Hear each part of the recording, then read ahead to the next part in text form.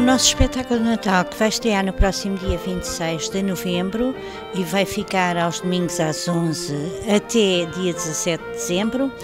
Este ano eh, chama-se O Sapatinho do Pai Natal e é a busca de uma criança pelo, pelo presente especial, o melhor presente, o mais bem conseguido para, para o Pai Natal.